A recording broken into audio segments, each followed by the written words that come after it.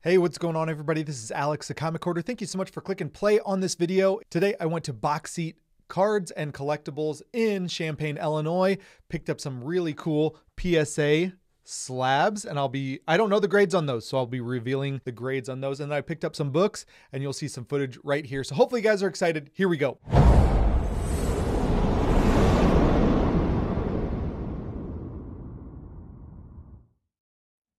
This video is sponsored by the Shortboxed app. It's the easiest and safest way to buy and sell graded comic books online. There's a link in the description below that lets them know that I sent you. Use that link to download the app for both Apple and Android users and start shopping today.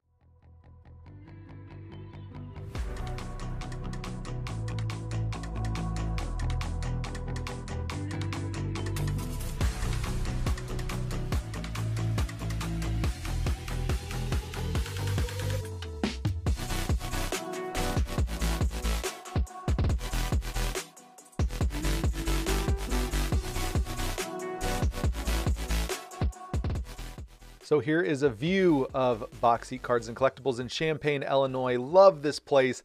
If you like anything collectible, really, this place has got it all.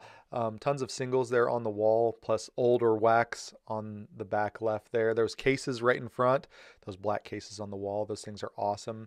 And I'm starting to walk back to the comic corner. Now, truth be told, I'm, I'm I went here uh, on this day to pick up a PSA return. So there's five baseball cards that they sent into PSA for me. And then um, I already had a stack of comic books waiting for me at the shop. So here's some of the toys. This is kind of in the middle section of this of the shop. Really great selection of, you know, semi-recent but vint- still vintage toys. Really like that Daredevil on the wall. They've got some cool um, Generation X figures just wanted to give you a slow pan of some of that stuff. Some of those Star Wars Power of the Force, I believe those are what those are. Um, some starting lineups, of course, baseball card shop. You'd see some starting lineups. And then this is a vendor right here. Um, I talked to him later that day. Just got some tons of comic books, he said. Then there's those T206s, plus some of these 19, I think those are 1930s at the bottom, 1933 maybe. And then there's that Phil Rizzuto 1949 Bowman there for 40 bucks. That was really tempting. Hall of Famer Phil Rizzuto. That was really tempting to pick that one up. But anyways, love those um, cards, those big league bubble gums. Now, so we're back at the comic books and looking at these J. Scott Campbell signed books. I think it was like 25 and $30 or 20 and $30. Then this um, set of Danger Girl signed by J. Scott Campbell. Really nice Legends of the DC Universe covers signed there as well. Nice Alpha Flight number one, some Wonder Woman, just some great books. Now, here's one of their cases. Those two books there, the Spider Man and the Wolverine, those are both commission sketches. Nice Thor, uh, Ms. Marvel, Black Lightning. I think some more, another Power Girl sketch, and that uh, JSA. Great stuff. First, Parasite. Awesome, awesome books. Adam Hughes. Nice Batman there. And that was new the last time. First appearance of Betsy Braddock's in the uh, main Marvel Universe comic format. Nice Adam Hughes book there signed. And then here are some of their slab books. They used to have a lot more slabs, but here are some of the slabs. Uh, nice Batman The Return number one, 9.8. Um, Batman Beyond. Nice Artgerm sign 9.8. Love this. Jae Hyung Lee. That one's always very, very tempting for me. Uh, first appearance of Lady Bullseye. Nice variant cover. Just awesome books, to be honest. Here's a nice Phil Rizzuto. Once again, that's a 1954. 20 bucks, Hall of Famer. And there's some just cool cards up at the front. Was curious what this box was of price stuff. It's like a 1972, maybe 71 or 72 Alkaline. Awesome. Lots of nice Hall of Famers. Nolan Ryan, great card for 15 bucks. I always like that card. It's a cool card. Another nice Nolan Ryan card there. I want to get a Nolan Ryan rookie card. That's one card that I'm kind of out for. But it would be like low grade, like 4.0 or 4 4 max, PSA 4 max.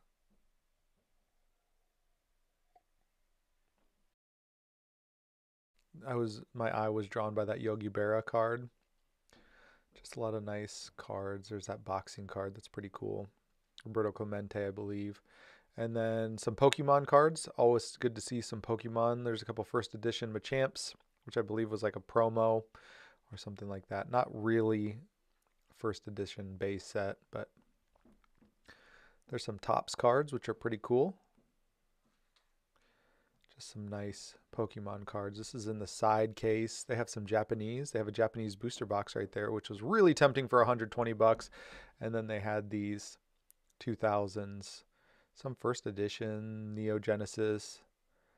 Um, I like that Zapdos fossil first edition. That's pretty cool for a hundred bucks. So I paid a hundred dollars for this batch of comic books and then grading fees for those cards. And I'll show you those. I'm really excited about those, but I'll show you the comic books first, just in order.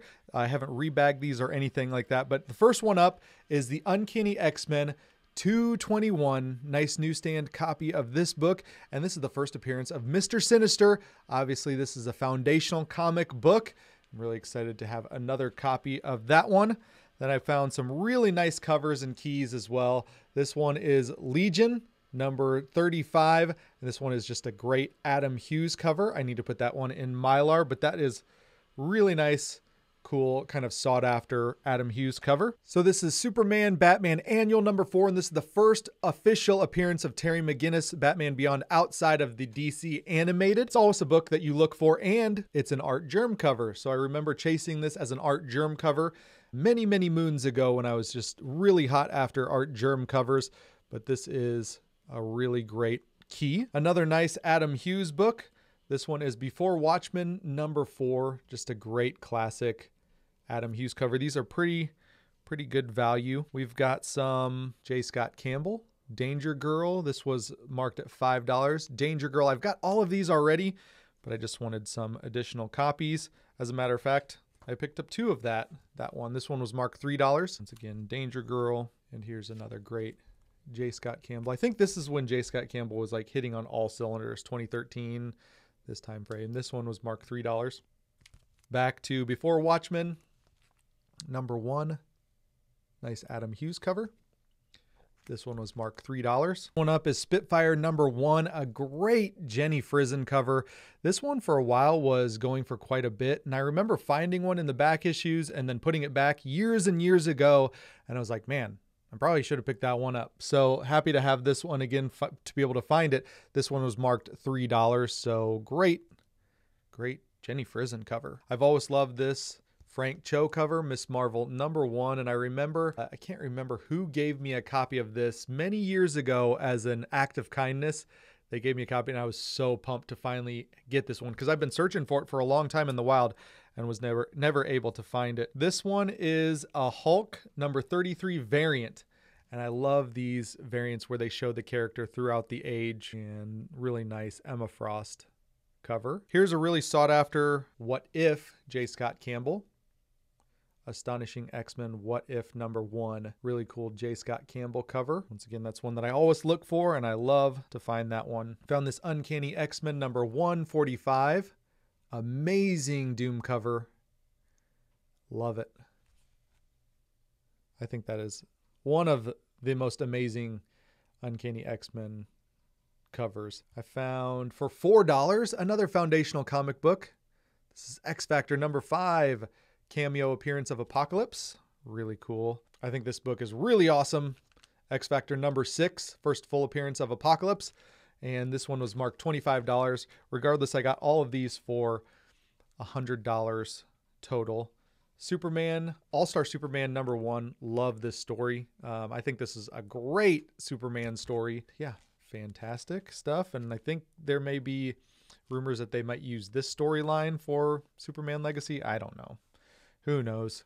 Who cares? I'm excited for that Superman. Any anything Superman that they can throw at me movie wise, I'll take it. I love it. And the last one is this What If featuring Spider-Man. Other number one. This is the first appearance of Poison, I believe, a symbiote that is fully in control of Peter Parker. And this one was marked $10. But like I said, for the entire batch of books here, I paid 100 bucks. So I think I did pretty good on those Really excited about that lot. And now on to the cards. So here comes the PSA return of some really, really awesome vintage baseball cards. I not know the grades on these five vintage baseball cards. So what I'm going to do is put a post-it on top of them. I'm just going to grab them one by one and put a post-it on the top so I can't see the grade.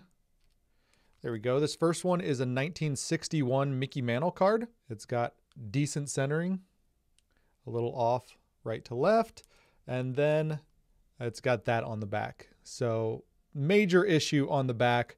I'm assuming that that would cause this one to be a, a one. Otherwise, I mean, this card looks decent, but that on the back, that big old tape pull paper loss makes me think that this would be a one. I, am not a big baseball card grader. I don't know what the difference between a one and a two is. If if a big paper loss like that could get a two, I don't know.